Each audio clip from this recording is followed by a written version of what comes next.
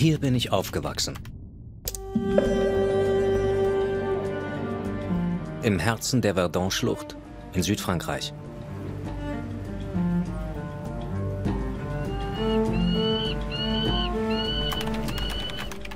In einer tibetischen Buddhistengemeinschaft namens Okase. Wir waren rund 60 Kinder.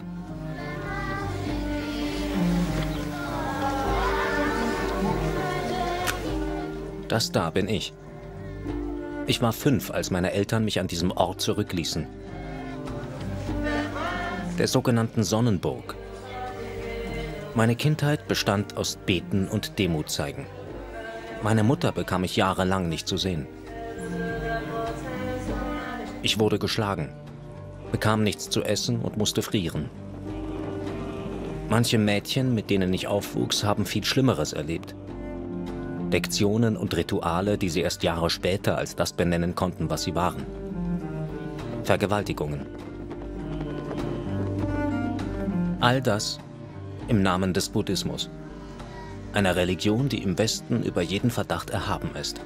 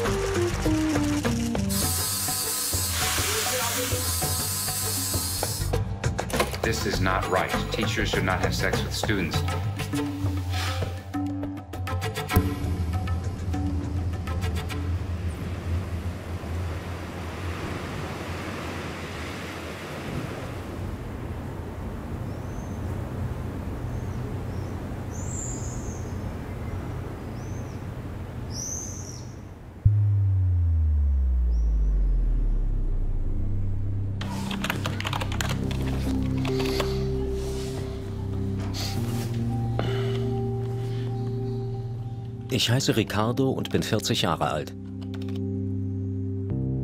Seit sechs Jahren kämpfe ich für die Verurteilung unseres damaligen Lehrers, Lama Kunsang. Mit bürgerlichem Namen heißt er Robert Spatz. Robert Spatz stammt aus Belgien. Als einer der ersten Menschen aus dem Westen hat er eine buddhistische Gemeinschaft in Europa gegründet. Er ist ein anerkannter Lehrer des tibetischen Buddhismus ein Lama.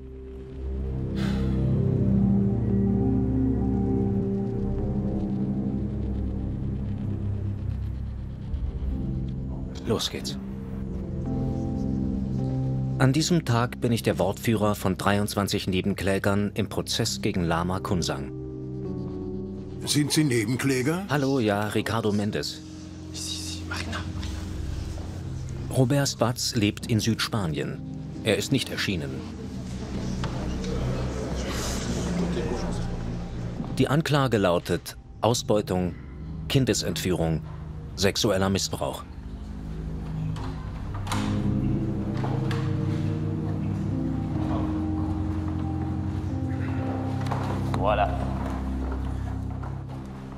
Bitte nehmen Sie Platz. Bien, nous allons donc reprendre avec l'audition. Wir fahren fort mit der Anhörung von Herrn Mendes. Was möchten Sie mit den Aussagen, die Sie gemacht haben, erreichen? In den letzten vier Jahren hat mich diese Geschichte vollständig in Beschlag genommen. Euh. Vorher hatte ich keine Ahnung, was sexueller Missbrauch Et bedeutet. Meine Befürchtung, meine größte Angst war, dass diese. Frauen damit an die Öffentlichkeit gehen und dafür fertig gemacht werden. Also sagte ich mir, wir müssen sie abschirmen. Wenn wir die gefährdetsten Personen schützen, indem wir unsere eigenen Geschichten erzählen und uns vor Gericht öffnen, wird die Wahrheit ans Licht kommen.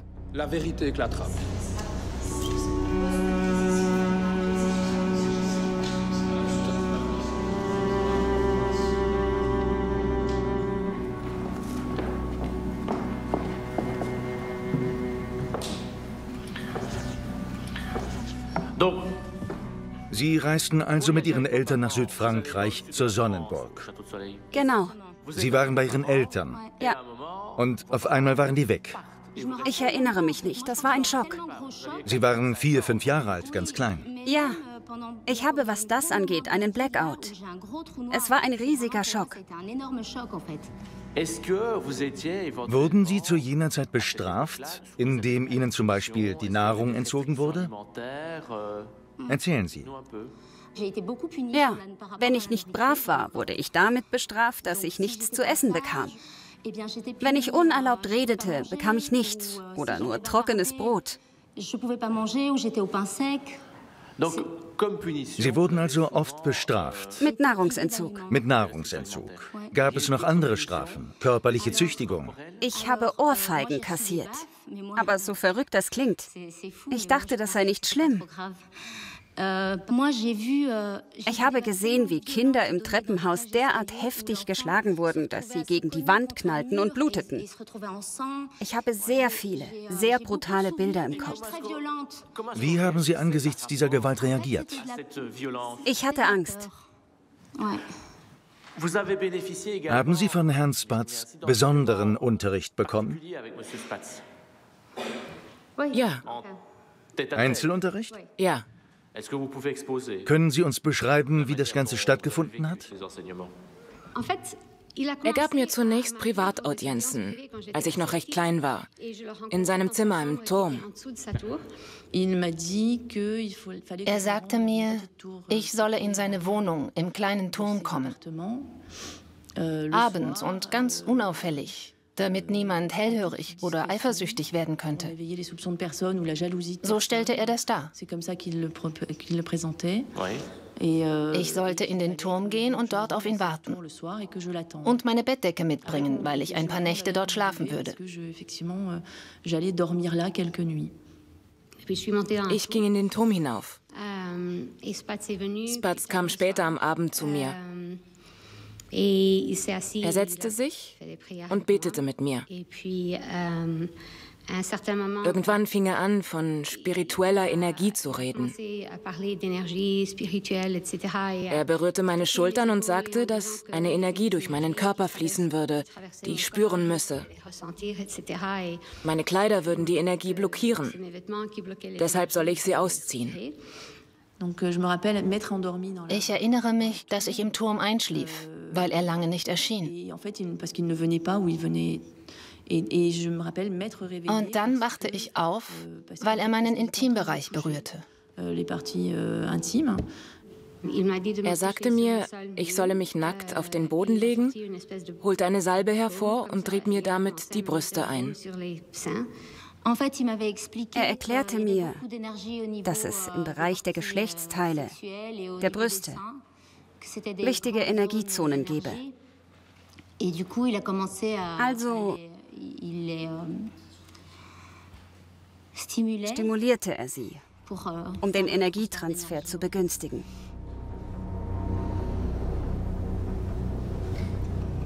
Spatz hat die Erleuchtung erreicht. Er versteht alles, ist allgegenwärtig. Er weiß, was wir denken und fühlen, kennt unsere früheren Leben, unser gutes und schlechtes Karma. Er ist äußerst gütig, denn er könnte ja im Nirvana leben, bleibt aber freiwillig bei uns auf der Erde, um uns zu helfen. Er lebt auf dieser schrecklichen Erde, wo alle leiden und er tut es nur für uns. Er weist uns an, Dinge zu tun, die uns ungerecht, seltsam, verrückt oder unnötig erscheinen. Aber wir müssen seine Anweisungen befolgen, denn nur so können wir zur Erleuchtung gelangen. Wenn ich Sie recht verstehe, muss man dem Lama blind folgen und gehorchen? Ja. Wenn ich in diesem Leben vergewaltigt wurde, dann nur, weil ich in einem früheren Leben ein Mann war, der eine Frau vergewaltigt hat. Meine Strafe ist es, als vergewaltigte Frau wiedergeboren zu werden. Dadurch wird mein schlechtes Karma zerstört, habe ich ein Glück und ich komme der Erleuchtung etwas näher. Das wurde Ihnen beigebracht. Ja, das wurde uns erzählt. Im Unterricht von Herrn Spatz. Ja.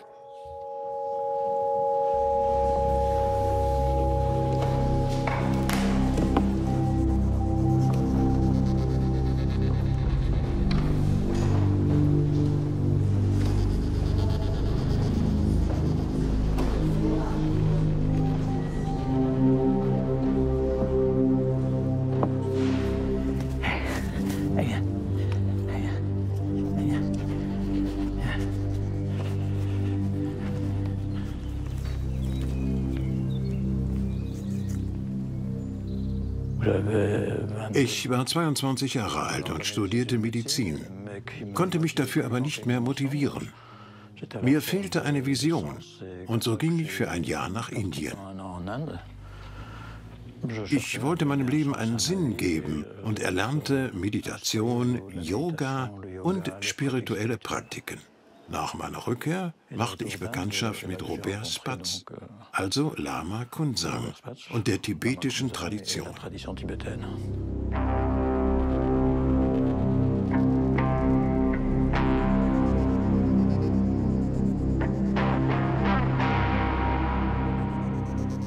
Robert Spatz glaubte an die ununterbrochene Abstammungslinie zwischen Buddha, Guru Rinpoche und den aktuellen Meistern, die ihm sozusagen die Aufgabe erteilt hatten, diese Schule zu gründen, die erste Antenne in Europa. Er war sehr stolz darauf. Seine Schule war direkt mit einem tibetischen Kloster verbunden und so gingen alle davon aus, dass sie unter der Verantwortung und dem Schutz dieser Abstammungslinie stand.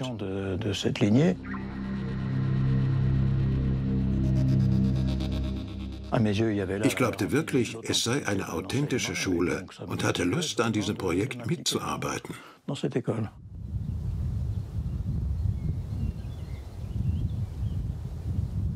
Meine Praxis befand sich in unmittelbarer Nachbarschaft. Als Arzt kümmerte ich mich um die Ernährung, die mangelhaft war, und um ein Mindestmaß an Hygiene. Aber ich wusste nichts von den Erziehungsmethoden und Misshandlungen.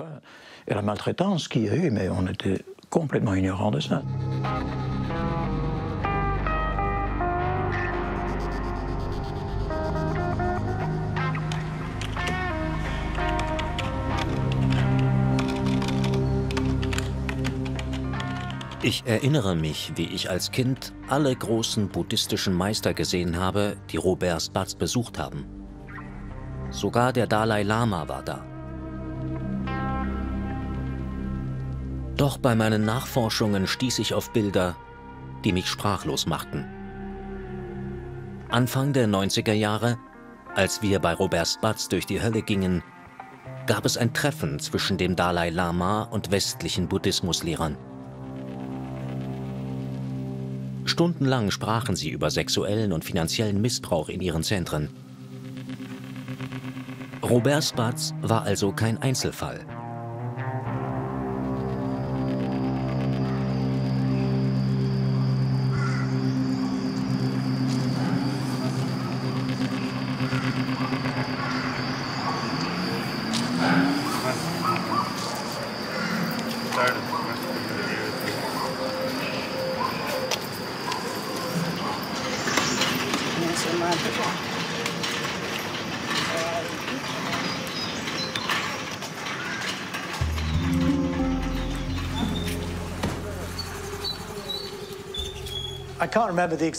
Ich weiß es nicht mehr ganz genau, aber wir waren wohl 25 bis 30 westliche Lehrer des Buddhismus unterschiedlicher Schulen.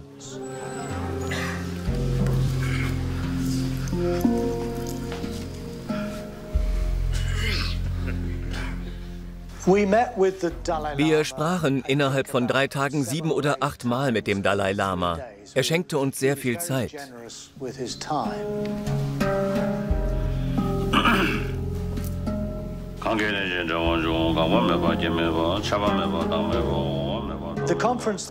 Zu dem Treffen kam es, weil der Dalai Lama zahlreiche Briefe, vor allem von unglücklichen Frauen, erhalten hatte, die bei ihm, dem Kirchenoberhaupt, den Missbrauch durch ihre tibetischen Meister anklagten.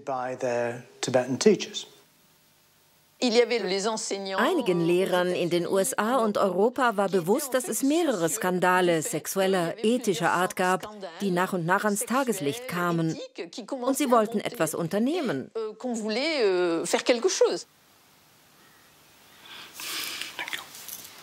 I have received many letters from women, many women, saying, please, what can be done? Do something. I also received uh, some letter say about the uh, sexual abuse survey. Ethical issues. Oh, ethical issues, these things. Uh, through, through every effort, every effort, say we, we must uh, stop say, this kind of situation. So then how to stop down that down that that's, that's the question we, we have to discuss. We just said that this is not right. Teachers should not have sex with students.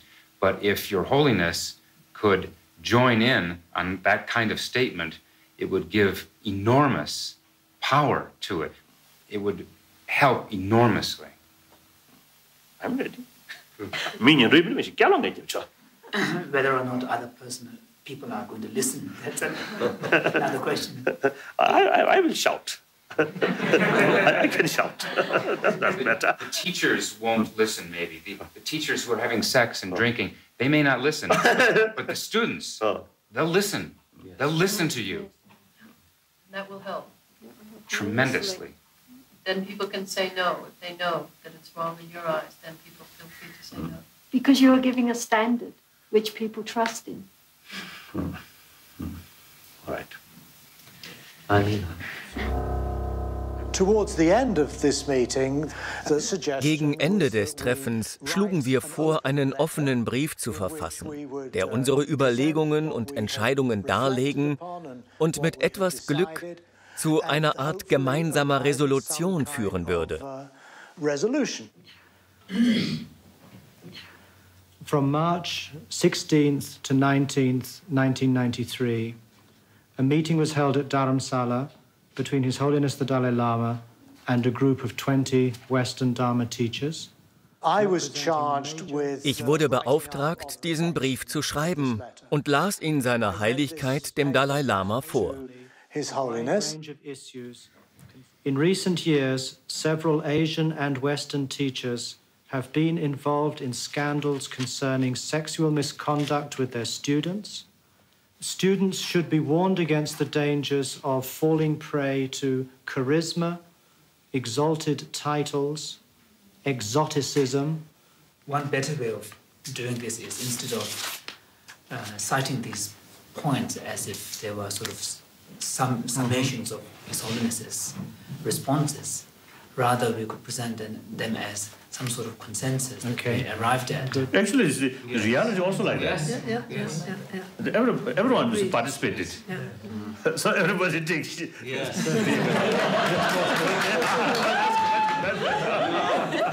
Less budget already.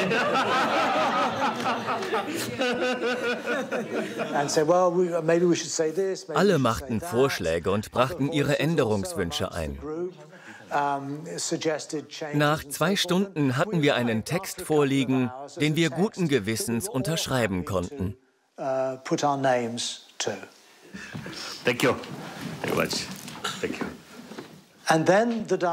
Dann sagte der Dalai Lama, der Brief müsse zuerst durch sein Privatbüro. Dann passierte wochenlang nichts. Keine Antwort. Funkstille. Schließlich kam der Brief zu uns zurück mit einer einzigen Änderung. Der Name des Dalai Lama war von der Liste der Unterzeichnenden entfernt worden.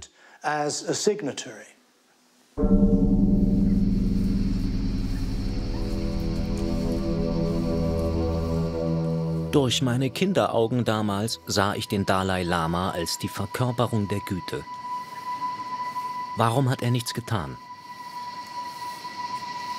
Mir wurde klar, dass er nicht nur ein geistliches Oberhaupt, sondern auch ein Politiker ist. Seine Prioritäten liegen woanders.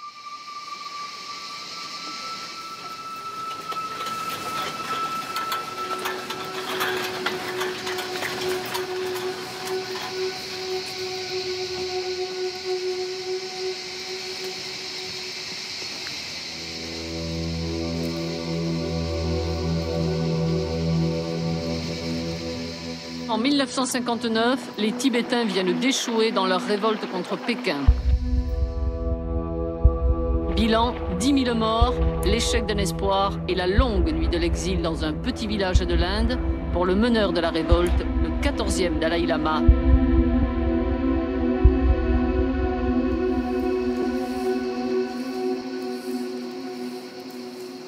Mein Name ist Tenzin.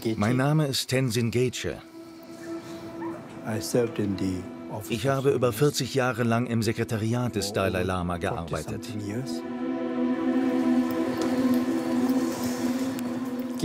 Ich verließ Tibet, als ich sechs Jahre alt war. 1959 kam seine Heiligkeit nach Indien und mit ihm tausende Tibeter.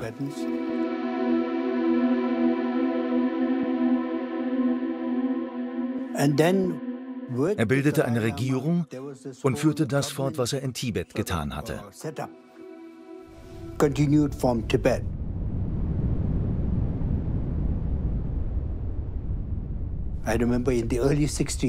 Anfang der 60er Jahre bat der Dalai Lama Staatsoberhäupter aus aller Welt, die Tibet-Frage vor die Vereinten Nationen zu bringen. Wir mussten all diese Briefe an die Staats- und Regierungschefs tippen. Ich habe selbst jede Menge davon getippt und wir hatten ja keine Computer. Oh, Furchtbar. Ein Tippfehler, weg mit dem Blatt und nochmal von vorne. Heute ist das anders. Wie auch immer, es war eine sehr aufregende Zeit.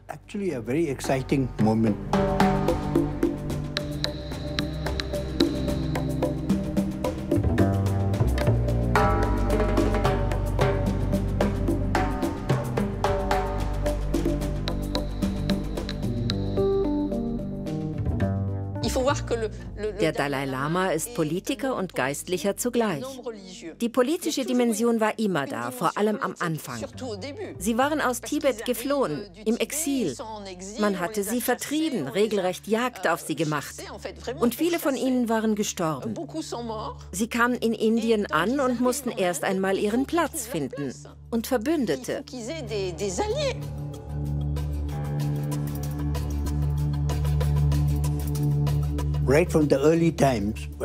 Die Situation der Exil-Tibeter war von Anfang an sehr schwierig. Jede Hilfe von außen war mehr als willkommen.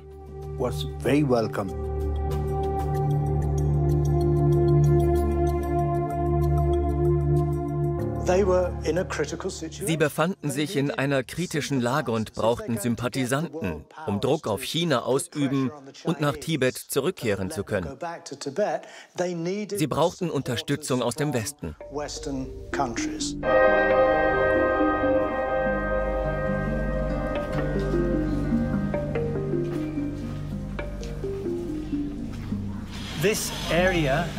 Als die Tibeter in den frühen 60er Jahren nach Dharamsala kamen, lebten sie in solchen Häusern.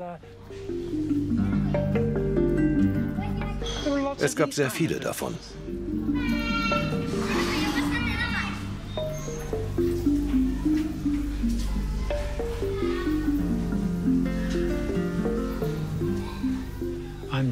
Ich heiße Jeremy Russell und lebe schon lange in Dharamsala quite a long time.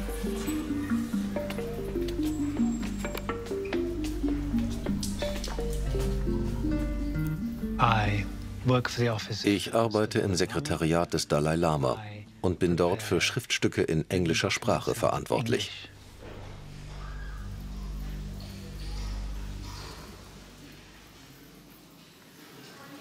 A spark der Funke, der in meiner Generation das Interesse für Indien entfachte, waren die Beatles.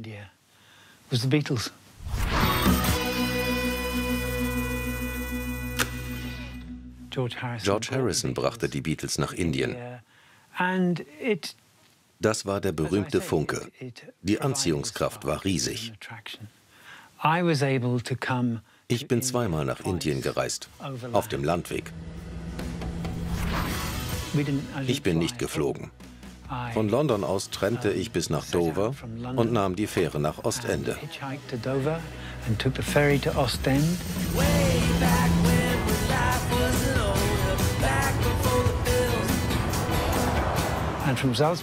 In Salzburg hatte ich das Glück, dass mich ein Typ in seinem Sportwagen mitnahm, bis nach Istanbul.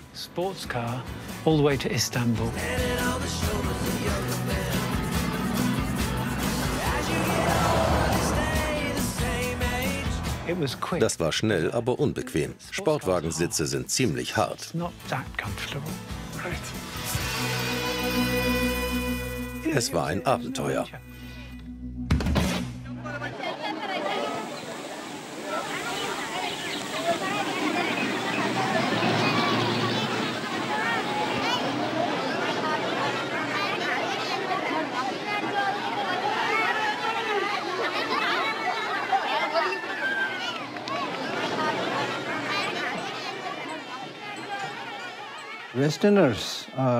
Die Menschen aus dem Westen sind sehr wissbegierig. Sie wollen reisen und Neues entdecken.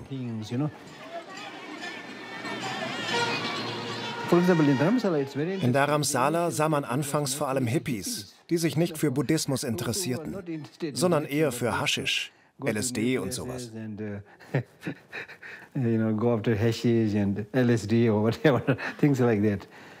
Aber manche von ihnen waren neugierig.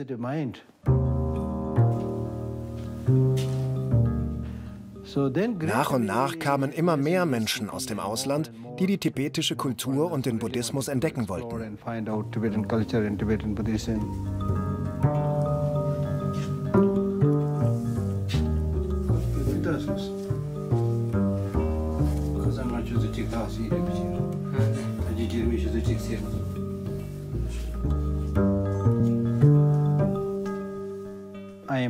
Ich leite dieses Institut hier, die Library of Tibetan Works and Archives, ein Zentrum für Tibet-Studien. Hier gibt es Kurse in tibetischer Sprache, Buddhismus, Übersetzung, Wissenschaftsprogramme und vieles mehr. Die ursprüngliche Aufgabe des Instituts ist die Bewahrung, Förderung und Verbreitung tibetischer Kultur.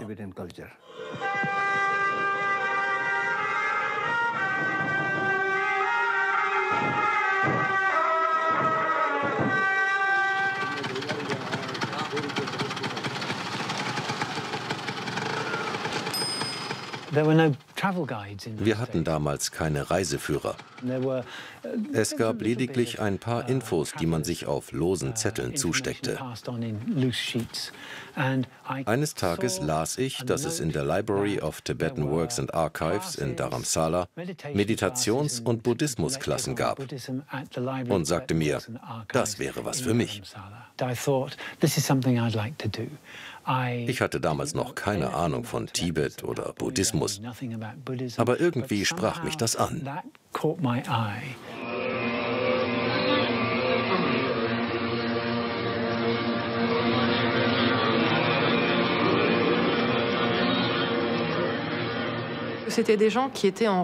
Diese Menschen hatten mit ihrer eigenen Kultur gebrochen und suchten nach Gegenmodellen. Und sie interessierten sich für veränderte Bewusstseinszustände.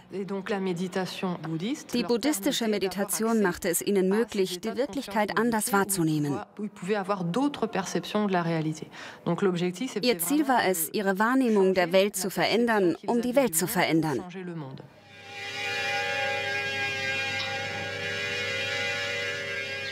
Die Suche nach Wahrheit Weisheit, Wissen, nach mir selbst. Ich habe festgestellt, dass wir im Westen über uns selber überhaupt nicht nachdenken oder über uns selber uns überhaupt nicht im Klaren sind. Wir sind nach außen gerichtet. Wir wollen Autos, Macht, Geld, Fernsehen. Wir wollen reisen. Wir wollen immer nach außen gehen. Und wir kümmern uns nie darum, was in uns selber passiert.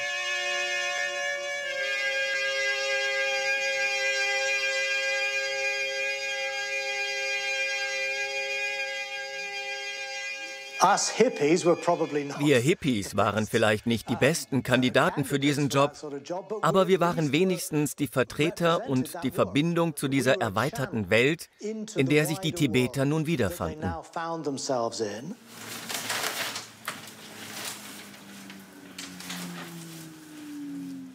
For many who für viele, die auch nur ein oder zwei Jahre in Dharamsala verbracht haben, also nicht allzu lange, war das ausreichend, um sich den Tibetern verbunden zu fühlen.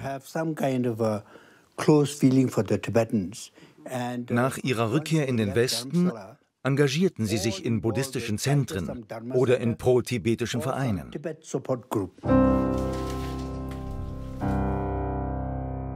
Zur Zeit meiner Eltern wurde der Buddhismus zur Modeerscheinung. La France est en train de découvrir le bouddhisme. Des cérémonies comme celle-ci se multiplient et permettent facilement à des jeunes d'entrer dans cette religion. Château de Plège en Saône-et-Loire, à 40 km d'Autun. Ils construisent ici les deux monastères qui abriteront la grande retraite initiatique bouddhiste de 3 ans, 3 mois et 3 jours, à l'issue de laquelle ils deviendront les premiers lamas occidentaux du bouddhisme tibétain.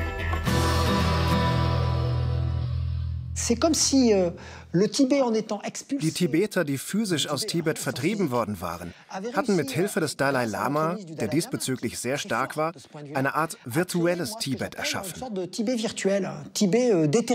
Nicht gebunden an ein Territorium, aber mit Klöstern und buddhistischen Einrichtungen auf der ganzen Welt, die als Präfekturen dieses virtuellen und zugleich globalen Landes fungieren.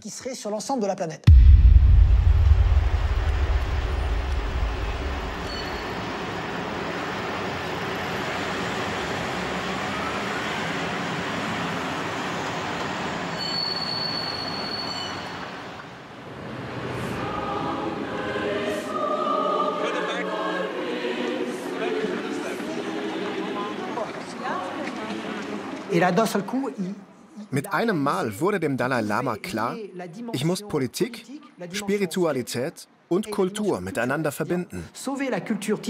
Dank der spirituellen Bedürfnisse des Westens kann ich die tibetische Kultur retten und zugleich politischen Druck auf China ausüben.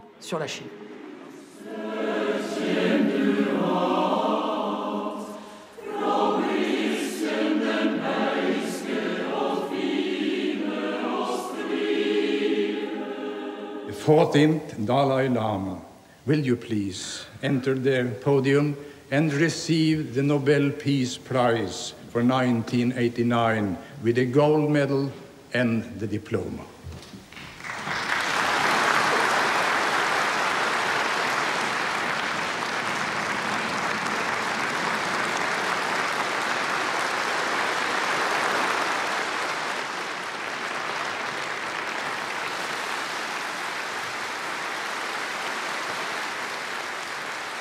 Der Friedensnobelpreis verhalf dem Dalai Lama zu plötzlicher internationaler Berühmtheit.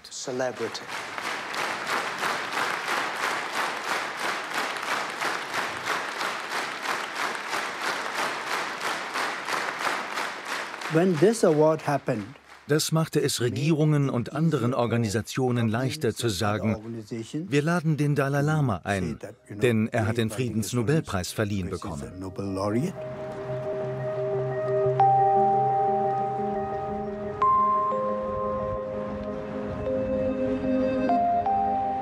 Die tibetische Ausprägung spielt im Buddhismus eine eher untergeordnete Rolle und hat sich doch am besten exportiert. Dieser Erfolg ist vor allem dem Dalai Lama zu verdanken, der innerhalb weniger Jahre zu einer Ikone wurde. Alle wollten ein Foto mit ihm. Bill Clinton, Jacques Chirac, Prinz Charles und Filmstars wie Richard Gere. Während die tibetische Sache immer mehr Unterstützer fand, mehrten sich die Missbrauchsfälle. In den USA, in Großbritannien, in Deutschland und der Schweiz. Überall auf der Welt treiben diese Meister ihr Unwesen, unkontrolliert und ungestraft.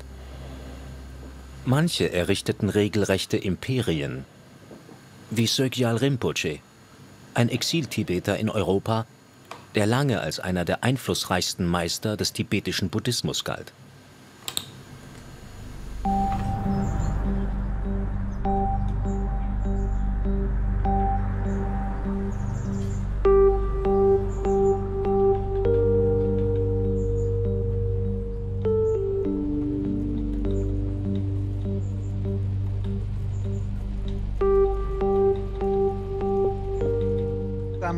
Ich bin einer der wenigen Journalisten, die sich seit Jahren auf das Thema Missbrauch im Buddhismus spezialisiert haben.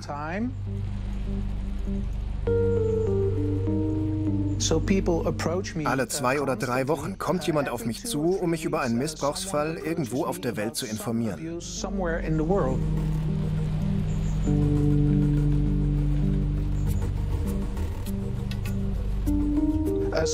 Manche dieser Leute wurden selbst Opfer, manche waren Zeugen und sie wollen, dass ich mich mit ihrem Fall beschäftige.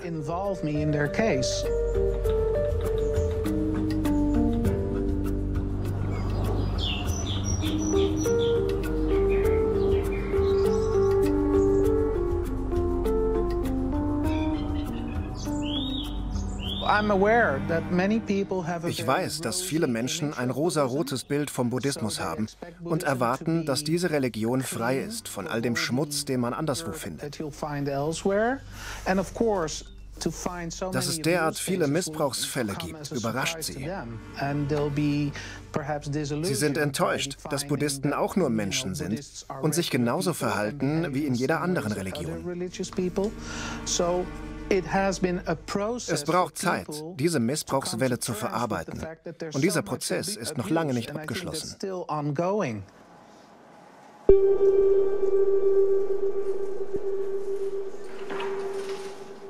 Einmal haben mich zwei Frauen kontaktiert.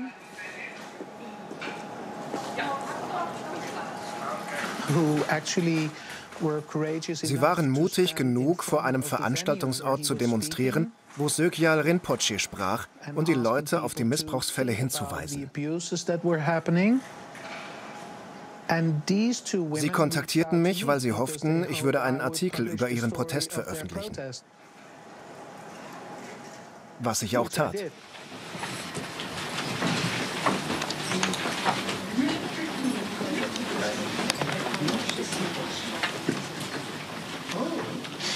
Sögyal Rinpoche ist einer der größten Missbrauchstäter im Buddhismus.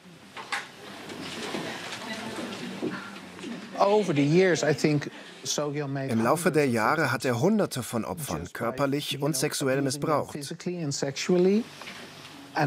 Und da rechne ich nicht die Leute mit ein, die für ihn bis zum Umfallen schufteten, für nichts.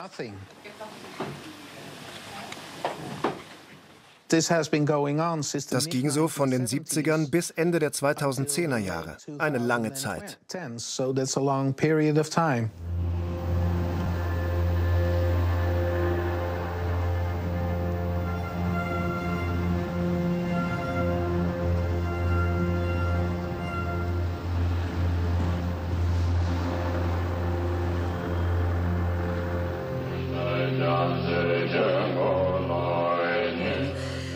Appartiennent à une école bouddhiste de tradition tibétaine.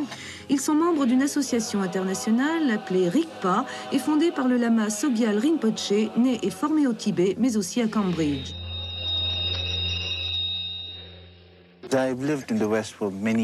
Ça fait plusieurs années que je suis en Occident et donc je commence à connaître un peu les conditions de vie ici. Et ce que j'enseigne, ce n'est pas le bouddhisme tibétain, mais j'essaye plutôt d'enseigner la sagesse de l'enseignement du Bouddha. Et j'essaye d'aider les gens. Je ne dis pas que j'ai réussi, mais au moins j'essaye.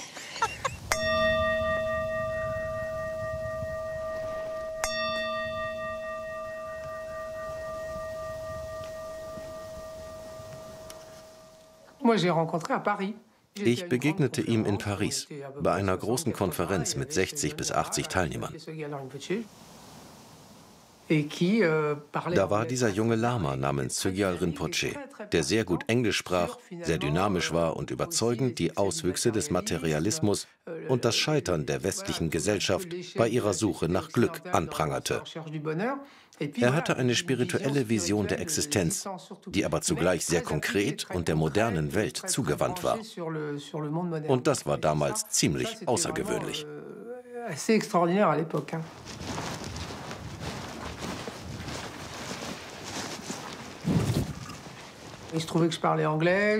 Ich spreche Englisch und so bot man mir an, Dolmetscher für Sugyal Rinpoche und andere Lamas zu werden.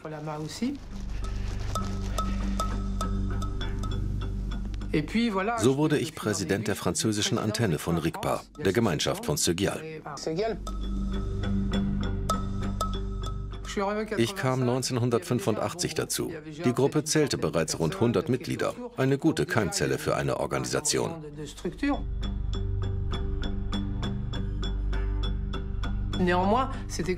Aber es war alles noch sehr direkt und nicht so zeremoniell, wie es dann im Lauf der Zeit wurde.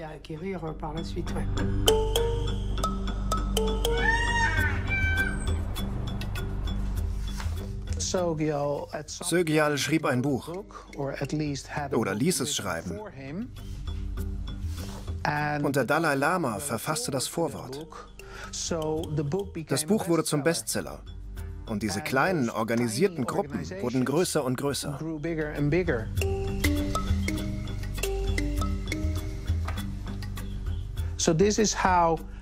Und so baute ein einfacher Tibeter ein weltweites Imperium auf.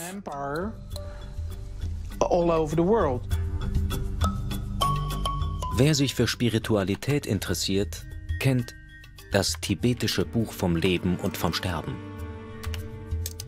Wie viele war auch ich fasziniert von dem Werk und seinem Autor.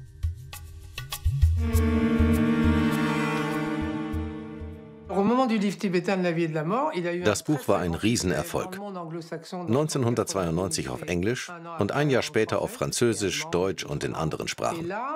Hunderte Menschen strömten nun in die Zentren.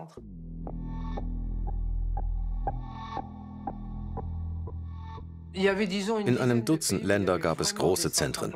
In den USA, vielen westeuropäischen Ländern, in Australien und Indien. Und noch kleinere Antennen in anderen Ländern. Sögyal Rinpoche war ein hervorragender Unternehmer. Der Start-up-Gründer des tibetischen Buddhismus, wenn man so will.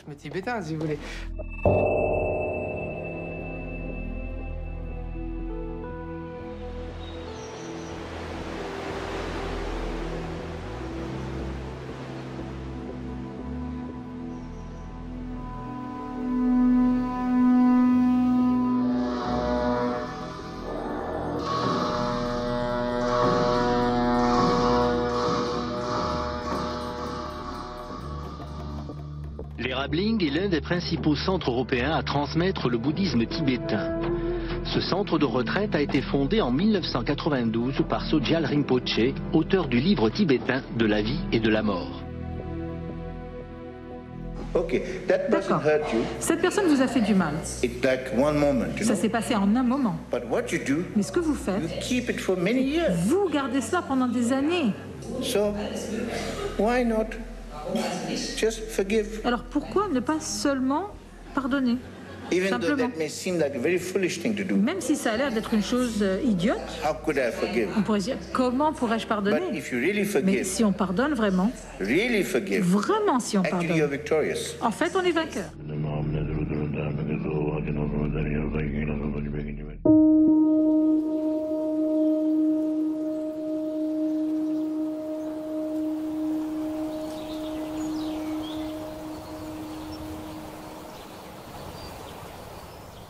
Lehrer Bling ist wunderschön gelegen. Es ist sehr beeindruckend. Der Tempel, das Umland, die Natur, wirklich schön, die Berge. Willkommen in der Familie. So fühlte man sich hier.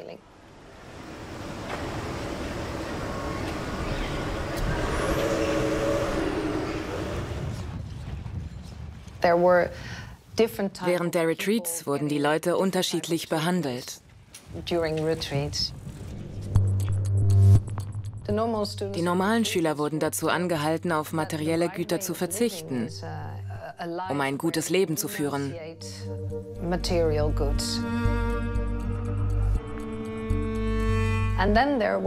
Und dann gab es den inneren Kreis aus Lamas und VIPs die im Luxus lebten und vorzüglich speisten. Ein Riesenunterschied also zwischen den Schülern, denen man ein enthaltsames Leben vorschrieb, und dem Luxus, den ich auf der anderen Seite sah.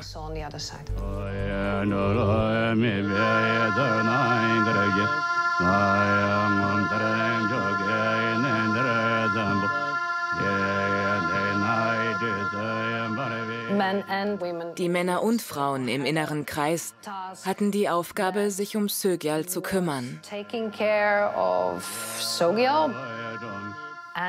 Es war klar, dass die schönsten Frauen praktisch Tag und Nacht bei ihm waren.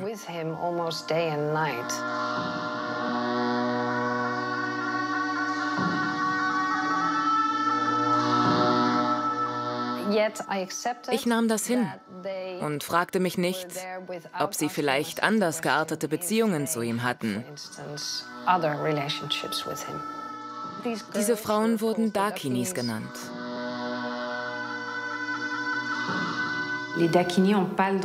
Den Dakinis darf keine Bewegung, kein Bedürfnis des Meisters entgehen. Sie müssen ihn 24 Stunden am Tag überall hin begleiten. Sie schlafen am Fußende seines Bettes für ein paar Stunden. Bei mir waren es am Anfang etwa zwei Stunden pro Nacht.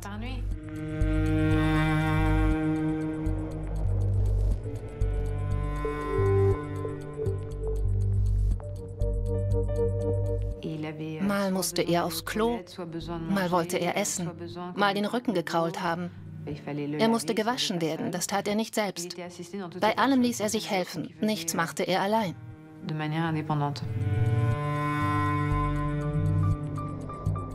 Euh, Jeder Spaziergang glich einer Expedition zu Mount Everest. Euh, euh, es musste eine ganz bestimmte Anzahl exakt gefalteter Taschentücher mitgenommen werden.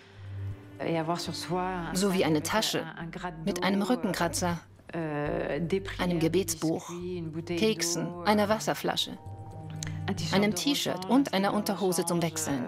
Euh, Dann ging es ganz langsam zum Ziel, wo er jedes Mal sehr unleidig war. Denn körperliche Anstrengung machte ihn fuchsteufelswild. Er war sehr ungeduldig.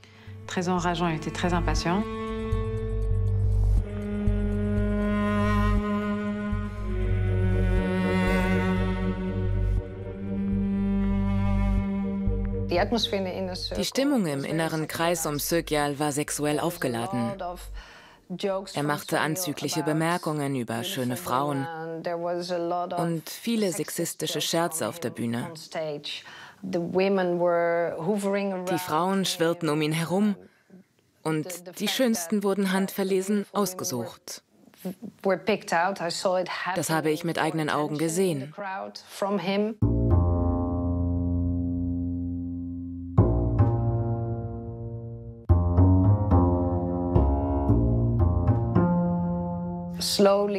Langsam aber sicher wurde mir klar, dass diese schönen Frauen Sex mit Sögyal hatten.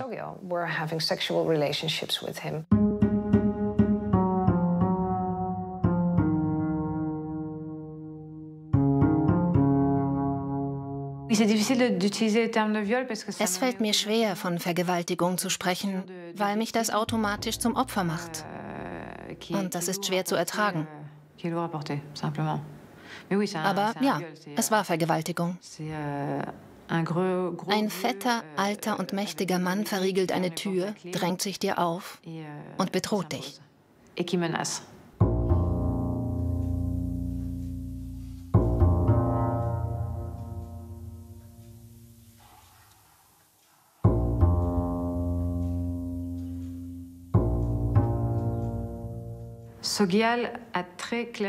Auf der Bettkante hat mir Sögyal ganz klar gesagt, wenn ich irgendjemandem davon erzähle, und sei es einem der anderen Mädchen, würde ich das Samaya, das heilige Band zwischen uns, zerstören.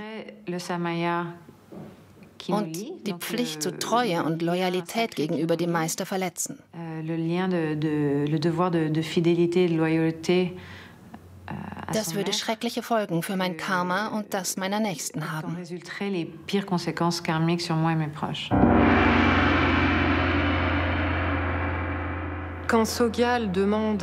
Dass Sögyal von seinen Schülern und insbesondere Schülerinnen verlangt, seine Konkubinen zu sein und Sex mit ihm zu haben, ist keine Abweichung von den buddhistischen Normen. Diese Dinge gibt es im tantrischen, tibetischen Buddhismus hinduistischen Ursprungs. Es gibt sie und Texte erwähnen diese sexuellen Riten. Ferner gibt es den Begriff der geschickten Mittel oder Upaya. Um jemanden zum Buddhismus zu bekehren, darf der Meister alle möglichen Mittel anwenden, auch Gewalt und Lüge.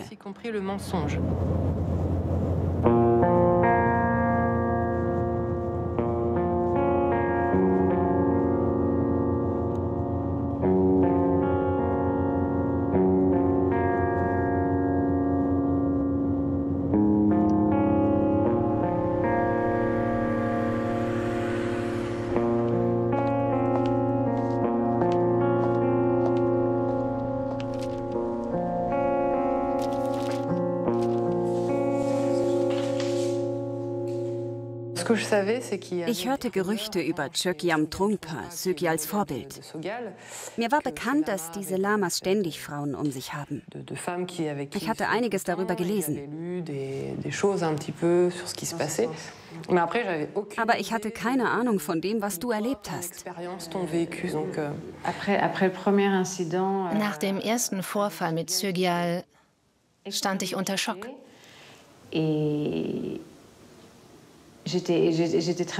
Es ging mir sehr schlecht. Ich wusste nicht, was da passiert war und wie ich es auffassen sollte. Und ich hatte verstanden, dass ich mit absolut niemandem darüber sprechen durfte. Euh, euh, Während einer Schulung von Sögyal lief ich im Hof in Lerabling Ziga Kongtrol über den Weg. Einem tibetischen Lehrer derselben Ausrichtung wie Sögyal. Euh, Sehr offen gegenüber dem Westen und der englischen Sprache mächtig. Ein Guru, ein moderner westlicher Lama. Ich fragte ihn unter Tränen, was es bedeute, eine Gemahlin zu sein, eine Konkubine. Konkubine. Euh, er sagte erst einmal nichts. Ich denke, er wusste genau, wovon ich sprach. Dann antwortete er, es ist ein sehr großes Glück, eine solche Beziehung zu einem Lehrer zu haben. Wieder einmal ein Meister, der sah, was geschah, der Zeuge des Leids wurde und der sich aus der Verantwortung gezogen hat. Euh, das entspricht dem, was ich über das Umfeld von Trungpa und Sögyal gelesen habe.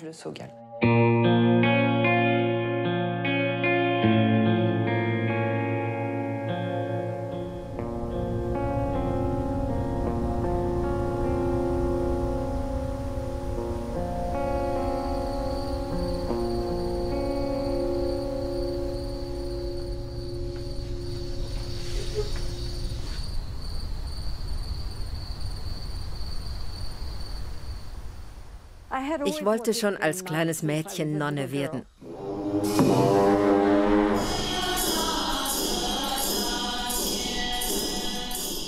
Das Christentum war nichts für mich. Ich wusste also nicht wie, aber ich wusste immer, dass ich Nonne werden würde. Dann erkannte ich, dass die buddhistische Weisheit das Wichtigste auf Erden ist. Im Buddhismus muss das Objekt deiner Hingabe völlig rein sein.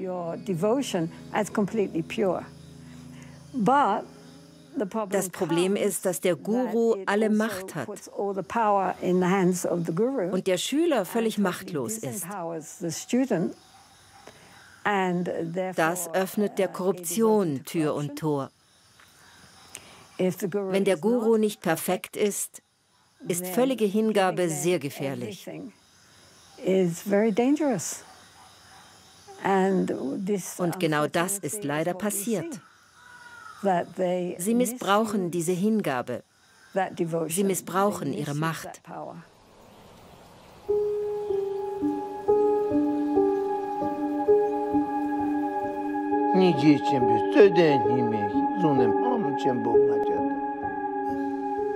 Which is blessed by His Holiness the Dalai Lama.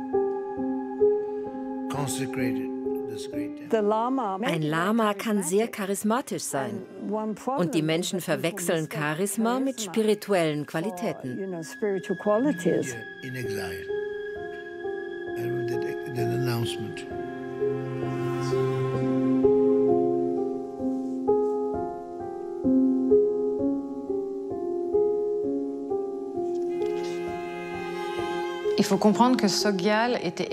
Sögyal hatte extremen Einfluss im internationalen Netzwerk buddhistischer Zentren im Westen.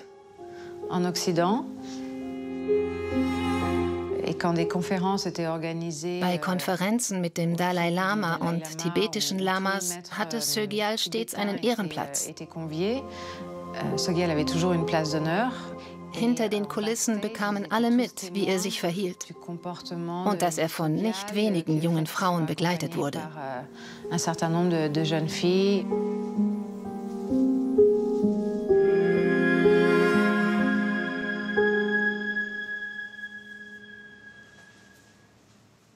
There were es gab Leute in höheren Positionen, die ganz genau wussten, was da lief.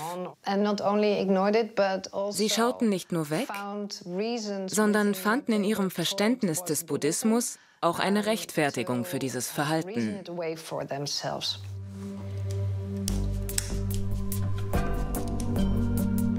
Sögyal Rinpoche war ein Problem für die gesamte buddhistische Gemeinschaft und dies bereits beim Treffen der Lehrer mit dem Dalai Lama 1993. Many letters from women, many women saying, please, what can be done? Do something. Die Anschuldigungen gegen Sögyal waren im Übrigen der Grund für das Treffen. Trotzdem zeigte sich der Dalai Lama weiter mit ihm. What troubled me more noch irritierender fand ich, dass er sich in den folgenden Jahren öffentlich mit manchen der Lamas zeigte, die er selbst kritisiert hatte.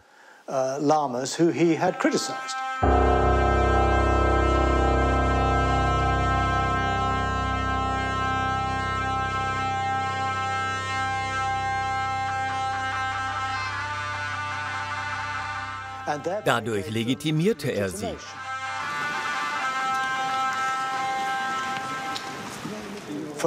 Viele von uns empfanden das als Verrat.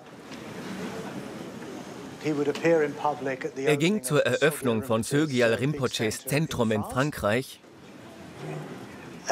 obwohl er genau wusste, was hinter den Kulissen zwischen Sögyal und einigen seiner Schülerinnen ablief.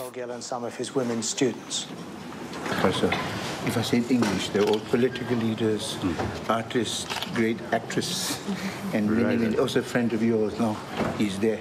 Many of them. Right there. Right. No, no.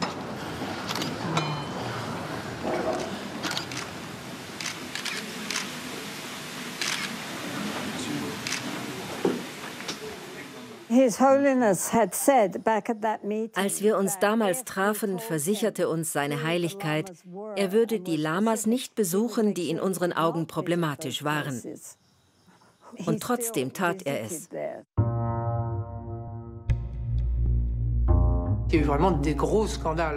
Es gab mehrere große Skandale und es hörte nicht auf. RIGPA engagierte eine PR-Agentur, die darauf spezialisiert war, in Krisensituationen Kommunikationsstrategien für VIPs übers Knie zu brechen, die rechtliche oder sonstige Probleme haben. Wir waren nicht sehr zahlreich, vier oder fünf sorgsam ausgewählte Sprecher von RIGPA. Ehemalige Journalisten spielten den Advocatus Diaboli und interviewten uns sehr aggressiv. Und wir mussten einen Weg finden, darauf zu antworten. Die Strategie dahinter war schlicht. Der Dalai Lama steht hinter Sögyal Rinpoche und allen anderen Lamas. Es ging darum, die Fragen zu umschiffen und nicht darauf einzugehen, wie oder warum etwas passiert war und wer recht hatte oder nicht, sondern die Botschaft zu vermitteln, dass die tibetische Kirche untadelig ist, tausendjährig und vertrauenswürdig. Das war die Strategie.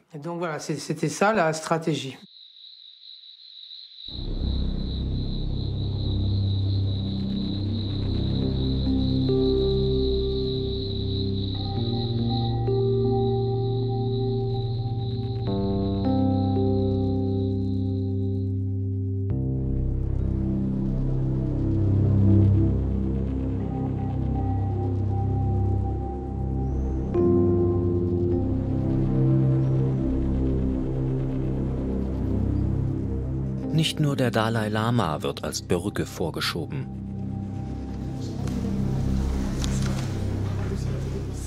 Bei unserem Prozess gegen Robert Spatz wurde mir klar, dass alle Würdenträger des tibetischen Buddhismus als Garant für die Glaubwürdigkeit benutzt werden.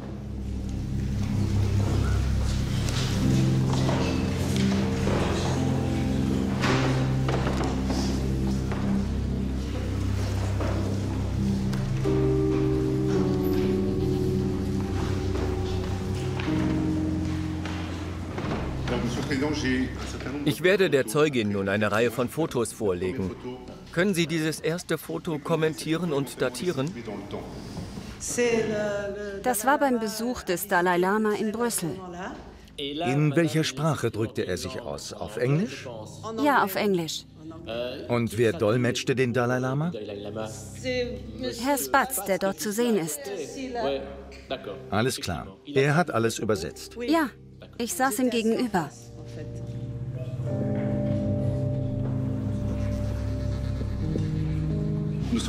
Wo ist das?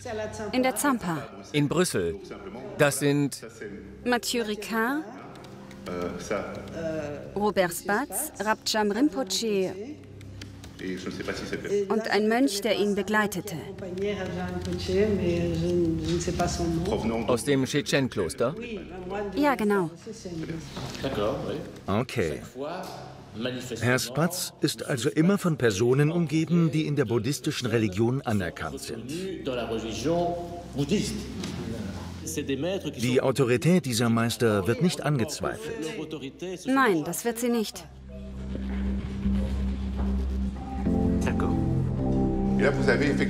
Da haben Sie die Bestätigung.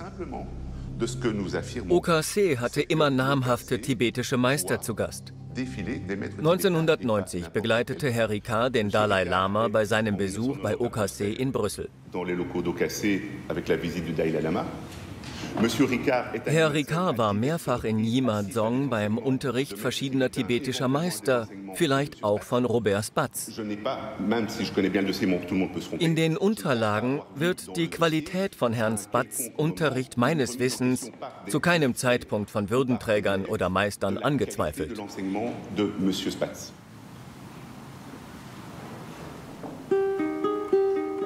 Jedenfalls nicht von Mathieu Ricard. Er ist der französische Dolmetscher des Dalai Lama. Eine der meistgehörten buddhistischen Stimmen weltweit. Wir haben ihn mehrfach kontaktiert und angeschrieben. Seit Jahren suchen wir Unterstützung in unserem Prozess gegen Robert Spatz. Vergebens. Dabei konnte niemand die Augen vor diesen schweren Anschuldigungen verschließen. Es wurde sogar im französischen und belgischen Fernsehen darüber berichtet. Les forces de l'ordre ont ratissé le domaine de 180 hectares. Ils ont entendu 50 personnes, dont 30 enfants, âgés de 2 à 14 ans. Plusieurs documents ont été saisis, mais c'est surtout le sort des enfants élevés sur place qui préoccupe la justice. 1997 wurden die Sonnenburg, wo ich aufwuchs, und die anderen OKC-Zentren von der Polizei durchsucht. Gegen Robert Spatz waren mehrere Klagen eingereicht worden. Er kam in Untersuchungshaft. Jahrelang wurden die Anschuldigungen wie Gerüchte behandelt und schlicht negiert.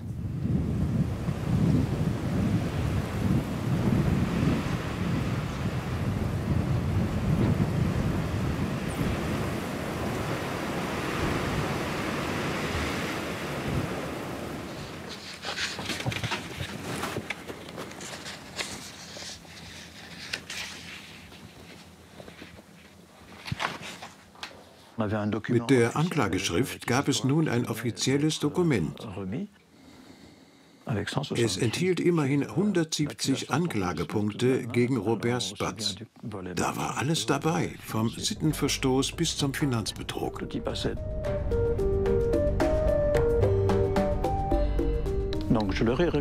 2010 übergab ich Ihnen persönlich einen Koffer mit der 42 Seiten langen Anklageschrift.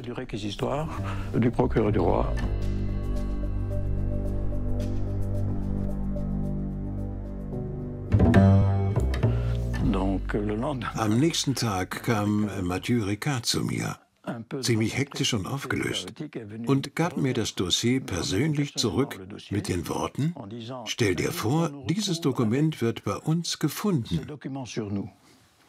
Mathieu kann also nicht behaupten, dass er das Dossier nie gesehen hat, denn er hat es mir zurückgegeben, nachdem er es die ganze Nacht gelesen hatte. Er kannte die Situation der Kinder. Er wusste, dass da was nicht sauber war.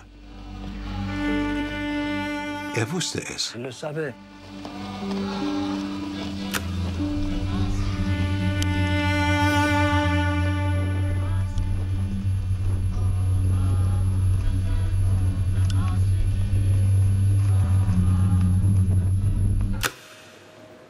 Ich habe noch einen Grund gefunden, warum die tibetischen Würdenträger uns womöglich nicht helfen wollen. Das liebe Geld.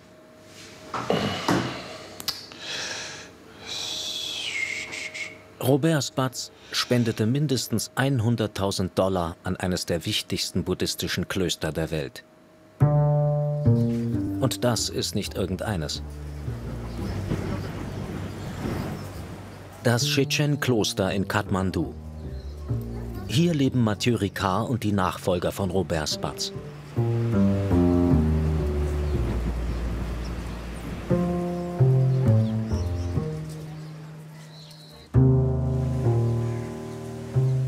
Brief an Okase. Sehr geehrte Herren, wir danken Ihnen für Ihre Unterstützung beim Bau der Philosophieschule im Shechen-Kloster in Kathmandu. Damit die Bauarbeiten fortgesetzt werden können, wären wir Ihnen sehr dankbar für die Überweisung der nächsten Spendentranche auf folgendes Konto.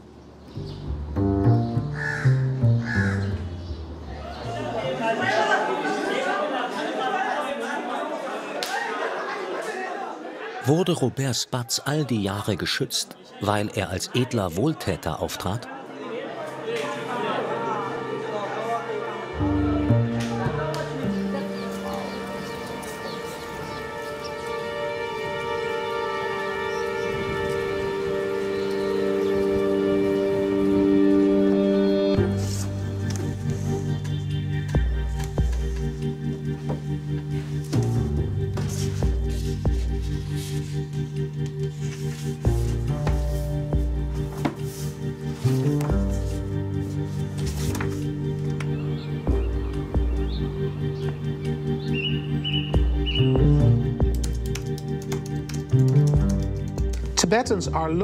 Die Tibeter sind ständig auf der Suche nach Sponsoren. Sie sind von Spenden abhängig. Als Flüchtlinge haben sie außer ihrer Religion keine Einkommensquelle. Es besteht also eine wechselseitige Abhängigkeit zwischen den Exil-Tibetern in Indien und den wohlhabenden Lamas im Westen.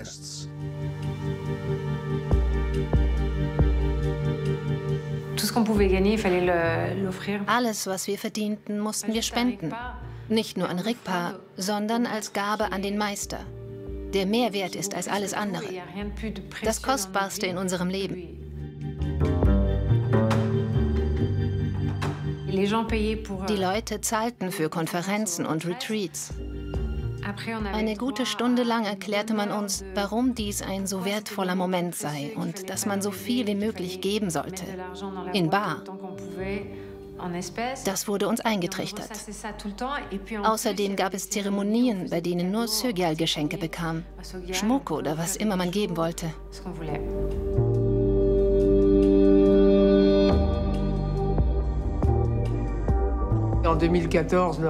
Im August 2014 kamen 600 ehemalige Schüler aus allen Ländern für einen Monat zusammen. Er sagte uns, ich werde euch sehr geheime Dinge lehren, aber ihr müsst dafür viel spenden. So ist es Tradition. Also zückten alle ihre Geldbeutel. Und er meinte, ich nehme aber nur Bargeld.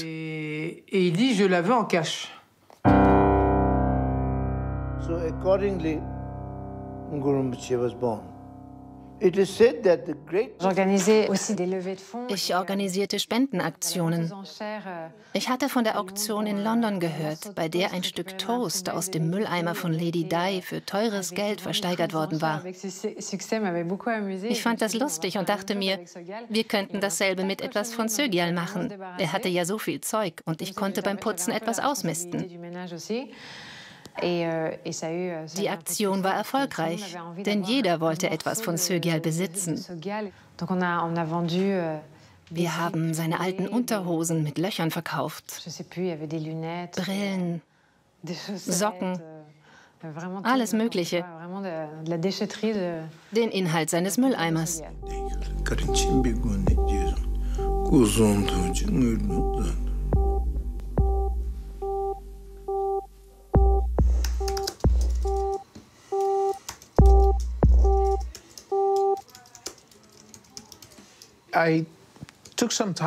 Ich habe viel Zeit damit verbracht, die Finanzen von Regpa zu untersuchen und alles zu archivieren, was ich finden konnte. Finanzunterlagen von 14 RIGPA-Organisationen weltweit im Zeitraum von 2012 bis 2019.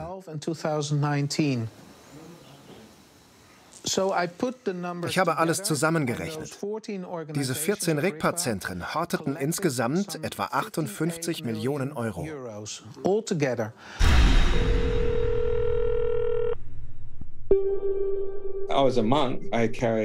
Ich war Mönch und brachte 60.000 Euro und Goldbarren nach Delhi.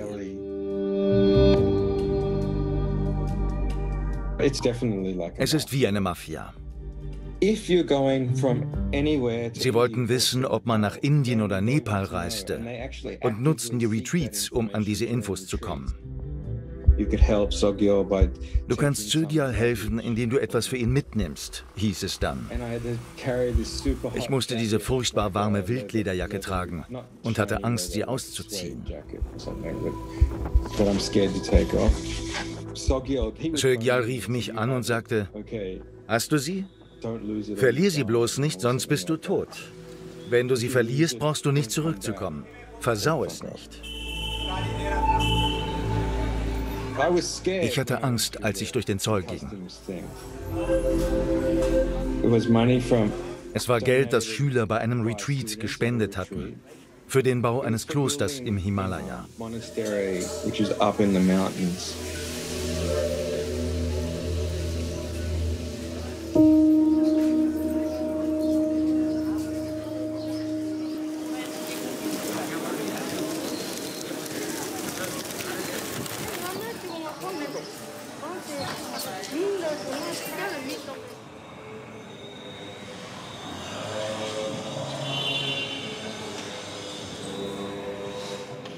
Mein Name ist Ankachi Sherpa.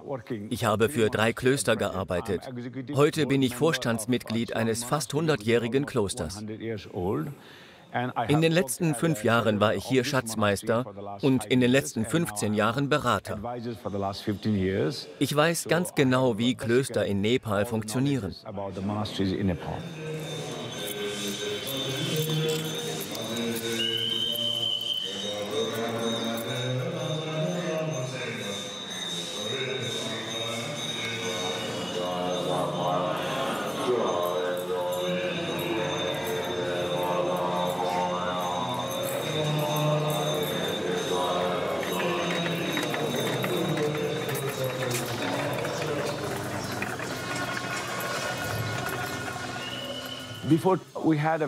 Früher waren unsere Klöster sehr klein, erbaut von der lokalen Bevölkerung mit dem, was zur Verfügung stand.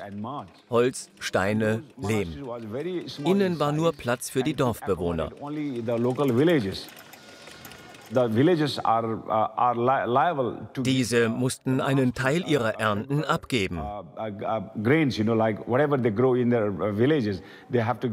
Nur so konnten die Klöster überleben.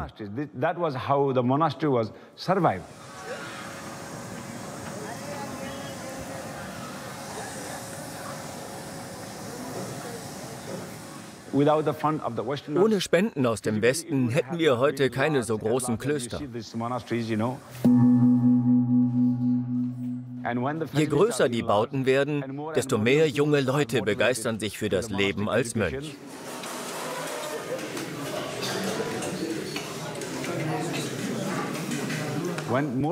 Und wenn mehr junge Leute kommen, wird die Lehre des Buddhismus verbreitet. Für uns ist die Hilfe aus dem Westen von entscheidender Bedeutung.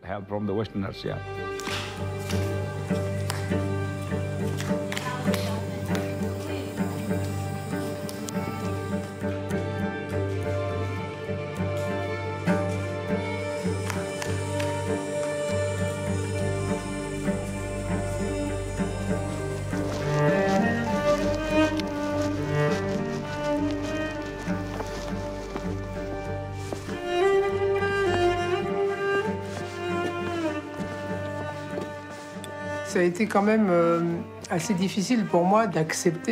Für mich war es sehr schwer, die Vorstellung zu akzeptieren, dass ein großer Meister und hervorragender Lehrer fehlbar sein kann.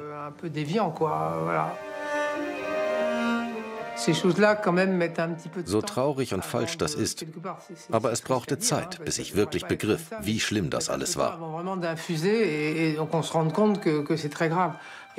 Und da sagte ich mir, ich muss gehen. Was ich 2014 tat. Viele haben bis 2017 gebraucht, bis ihnen die Tragweite bewusst wurde. 2017 beugte sich der Dalai Lama dem Druck und erkannte die Vorfälle an.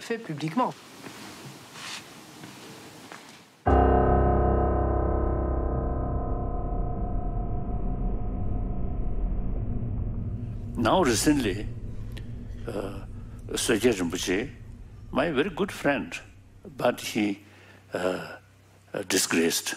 So some of his own sort of student now uh, publicly sort of sort of uh, ah, uh, made public using their criticism.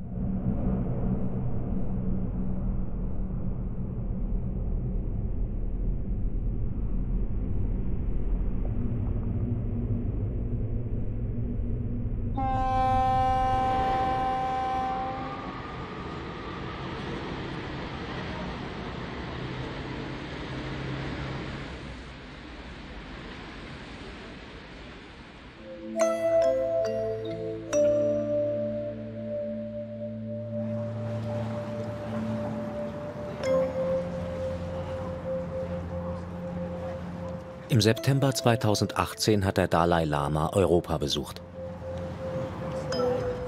Wir Opfer nutzten die Gelegenheit und baten um ein Gespräch in seiner Hotelsuite im letzten Stockwerk dieses Gebäudes. Ich habe die Unterhaltung aufgezeichnet.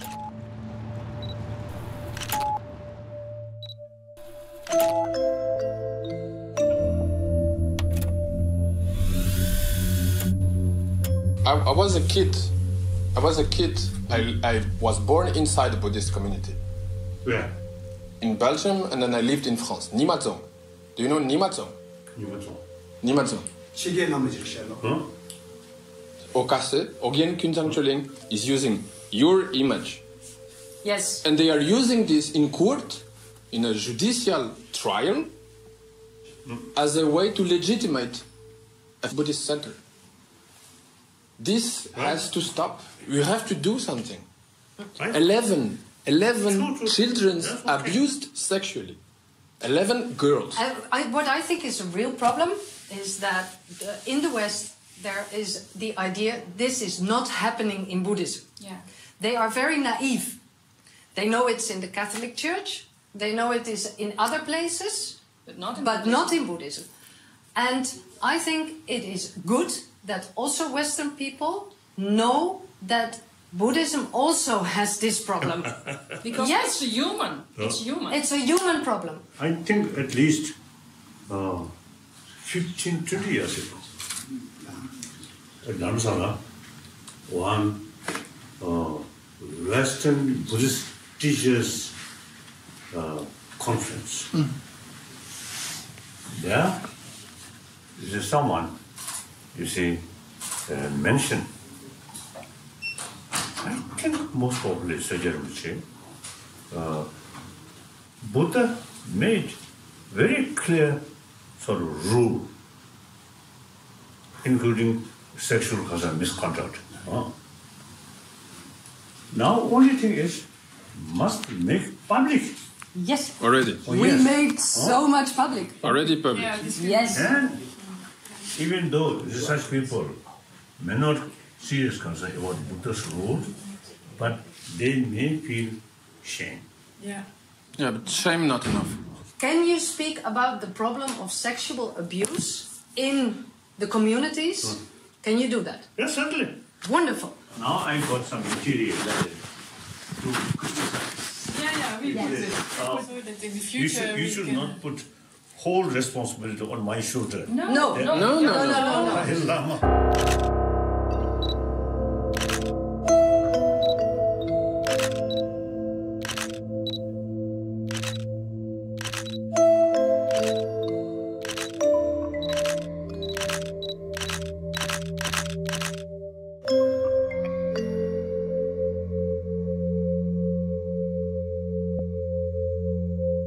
diesem Gespräch erzählte ein Opfer dem Dalai Lama, was es mit einem Guru durchmachte, der immer noch aktiv ist.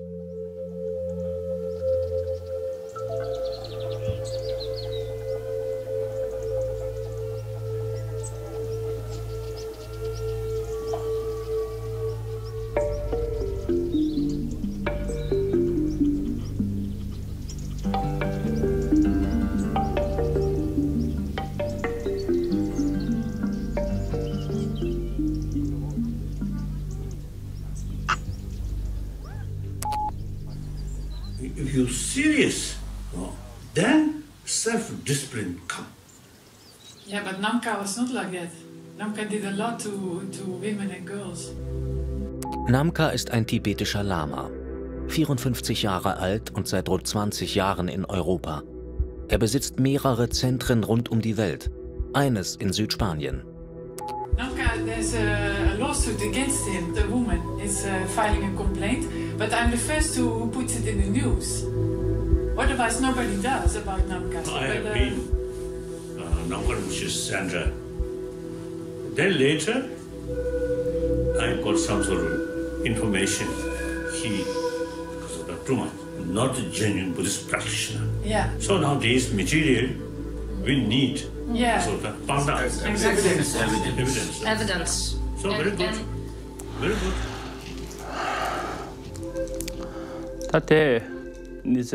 Das ist nicht nur mir passiert. Im Westen kamen viele Lamas in diese Situation. Ich bin seiner Heiligkeit, dem Dalai Lama, nicht böse für das, was er gesagt hat. Wir haben ein gutes Verhältnis und ich verstehe seine Antwort. Ich kenne die Holländerin, die mit seiner Heiligkeit gesprochen hat. Sie ist eine Schülerin von mir und ist mir viele Jahre gefolgt. Ich dachte, sie würde mich verehren.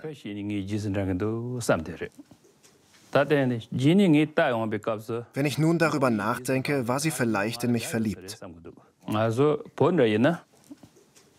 Wenn in Tibet eine Frau einen Lama liebt, sagt sie ihm, ich liebe sie, verlangen Sie von mir, was Sie wollen. Und der Lama antwortet ihr mit Ja oder Nein. Im Westen ist das anders. Hier wird die Frau es heimlich und durch die Hintertür versuchen. Und wenn es nicht klappt, wird sie wütend und zieht vor Gericht. Sicher habe ich früher im Umgang mit meinen Schülern viele Fehler gemacht, weil mir die westliche Denkweise nicht vertraut war.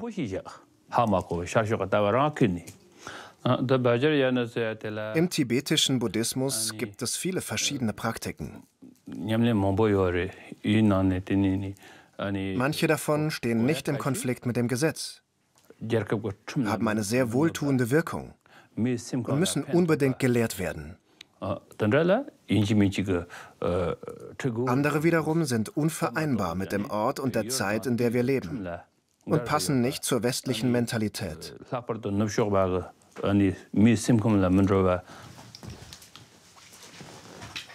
In der Schweiz wurde Klage gegen Namka eingereicht und es gab mehrere Hinweise bei der Verwaltung.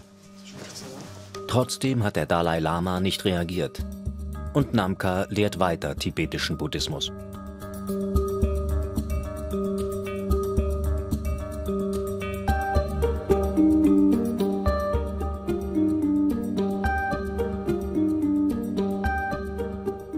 Robert Spatz wurde 2020 vom Berufungsgericht in Lüttich zu fünf Jahren Haft auf Bewährung und der finanziellen Entschädigung seiner Opfer verurteilt. Er ging in Revision.